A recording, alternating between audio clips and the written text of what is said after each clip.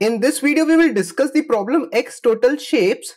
The problem says that we have been given a grid which is of dimension n cross m and it consists of zeros and x's. So the, the task is to find the number of x total shapes in the given grid.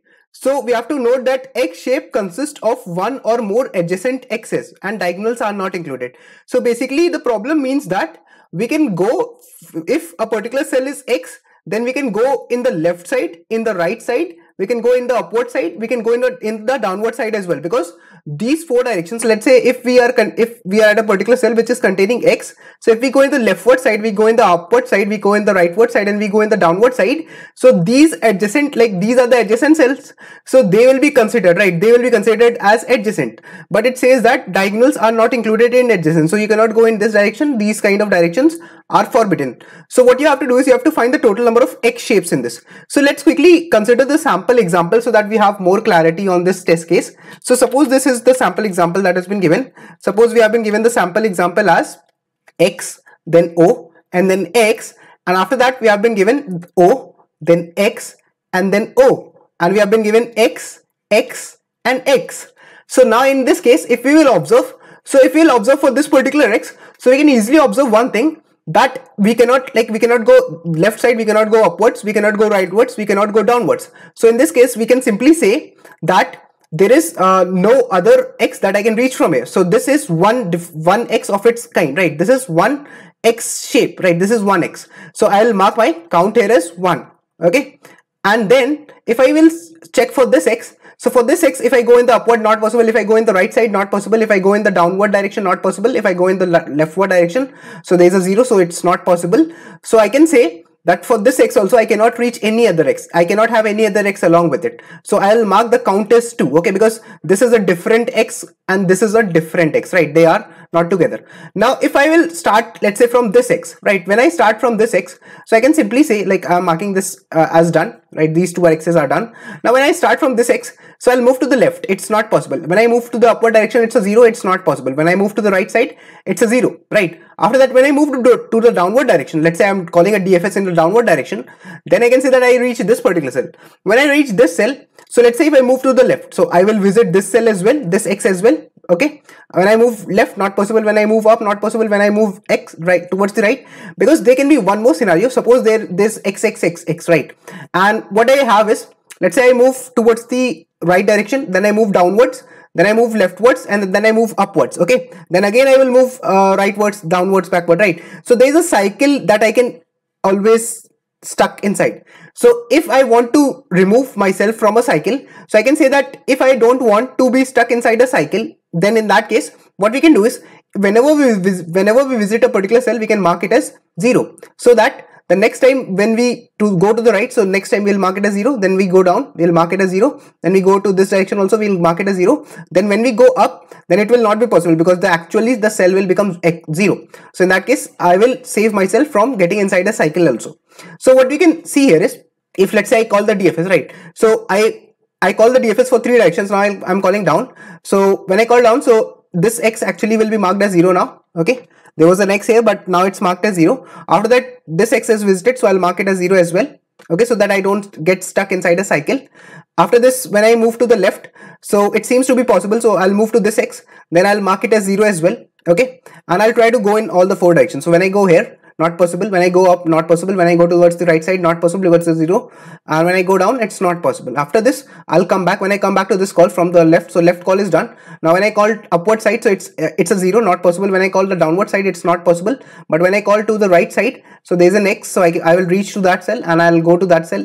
Now what I'll do is I'll try to go call to the left but it is actually 0 upward is also 0 rightward is also 0 downward is also 0 right. So we can simply say that now the the transition has been done right? Now the counting has been done. So another like there was another case when i called the dfs call right? So there are three times that i've called the dfs call. One one time i've called for this x another time i've called for this x and another time i've called for this x. And notice that this situation the situation was like xox then oxo right? Uh, 0x uh, 0 uh, then it was ooo right? This was the case like uh, it was xxx right here so in this case if i will observe so basically what did i do i called one time dfs when i was here like then another dfs was called here and another DFS was called for this complete region. Why? Because what will happen now? If you will observe now, so in this case, when you see the updated uh, grid, so in this case, you can easily observe that now when I will go and call for this cell, right? When I'll try to call for this cell, so actually I'll not be able to call the DFS for this cell because I was calling the DFS for those cells which have the value as X only.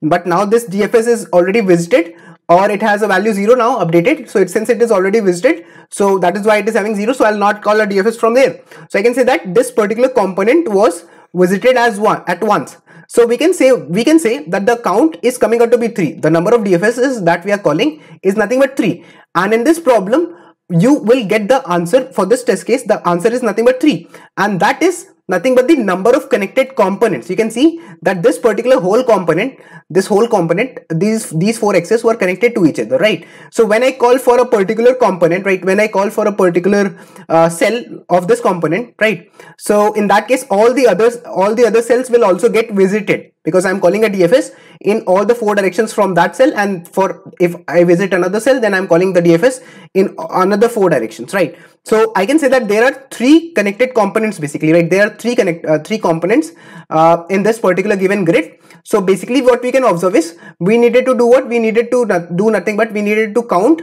the number of connected components in this graph, right? We needed to count the number of connected components.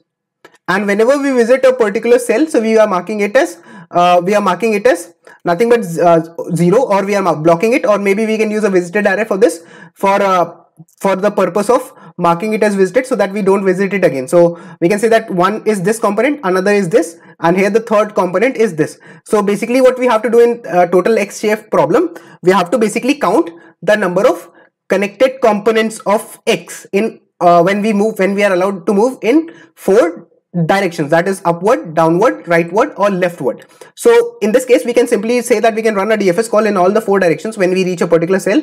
And if it is zero then we can return from there. If it's an invalid cell then also we can return okay? Otherwise uh, we can mark it as zero if it was x and we can call the dfs in all the four directions for that particular thing right? And all the cells like all the all the cells which are having x when i visit them for a particular component so they will be marked as zero. So there will be no further calls for the same component. So in that case I, the dfs the number of times that i'll call the dfs will uh, be indicated by count and count will tell me the number of connected components in this case. That is nothing but the x total shape for this problem. And previously this problem has been asked in amazon and microsoft. So let's quickly try and write the code for this approach. So what i'll be doing is i'll be having this function. And what we can do here is we can say that first of all i'll find n. n is equal to nothing but uh, the grid dot size that is the number of rows after this I'll find m as well. So m is equal to nothing but uh, grid of 0 dot size the column. I need to find the number of columns so that's nothing but uh, the grid of 0 dot size. After this we also need a count. So initially I'll mark a count as 0 and then what we will be doing is we'll say that uh, we'll simply say that our for loop will start from here so for loop like we'll run for each and every cell. And if it is not visited if it is having a value x in that case we'll count it and then we'll call the dfs call for it so that all the uh, x's which are in the same component as that particular x so they get visited. So i'll say that okay j starts from 0 j is lesser than m then we can do a j plus plus.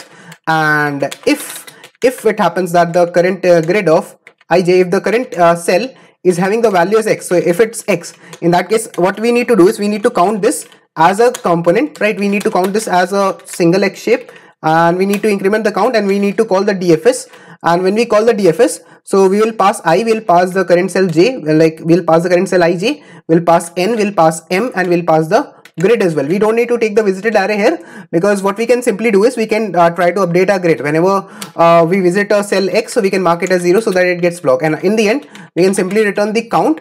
That will be nothing but the number of connected components in this graph you can say uh, in this given grid or you can say the total x x total shapes in this according to the definition of this problem. So what we'll be doing is we'll be writing a dfs function which will be void in nature. So we can write a dfs function here simply. And we'll pass int i comma int j okay? After this we'll after this we'll pass uh, the n and m int n comma int m. And after we have done this so we will also pass the grid. So let me just quickly copy the grid from here only okay so we'll be passing the grid as well. After we have passed notice that we are passing it by reference so any change we make to the grid will be reflected in the uh, actual grid original grid as well okay? So if uh, it happens that i fall out of the grid if i is lesser than 0 okay? As i said like if uh, if suppose that i was at this particular cell so can i if i was at this cell so can i move to the left? No. Can i move to the upward direction? No. So because why? Because in here i is lesser than 0 here j is lesser than 0 right? And similarly i cannot move down from here right and similarly I cannot move uh, from a particular from this cell which is containing X I cannot move to the right side. So whenever I fall out of the grid so I will return uh, I'll simply return. So if j is i less than 0 j is less than 0 or if i is equal to, equal to n or if j is equal equal to m okay? In those cases i should be returning. Or if it happens that the current grid of ij if it's e actually equal to an o if it is an o. In that case also it's not visitable because it's not containing x so i, I should return. Otherwise if this grid was containing x so I've, since i visited it so i should mark it as uh, 0 so that i can block it. And then i'll call the dfs call in all the four directions. So i'll call the dfs for i plus 1 comma j. That means i'm moving in the downward direction. I'll pass n and m and i'll pass the grid. So this is nothing but when i'm moving in the downward direction. This is when we are moving in the downwards direction. And similarly we'll call the dfs for i minus 1 comma j comma n comma m. Uh, i'll pass the grid as well. This is when we are moving in the upward direction. And we need to call the dfs for other two directions. That is the uh, rightward direction. So when i'm moving right so it will be nothing but i comma j plus 1 comma n comma m comma the grid. Okay? This is when i'm moving in the right uh, direction. And similarly I'll call a DFS when I'm moving to the left direction. So uh, I uh, this will be I comma J minus 1 comma N comma M comma the grid. I'll pass. And this is when I'm moving to the left direction. So one by one all the uh, cells that will be visited they will be marked as zero so that next time in a particular component if uh, if I call in a particular component if I call for the first cell of that particular component all the other cells also get visited and they are marked as zero so that next time the the DFS call is not done for them because when I'll try to check so they will no longer be X they will become zero okay? So this is what I'm trying to do. Let's try and compile this code.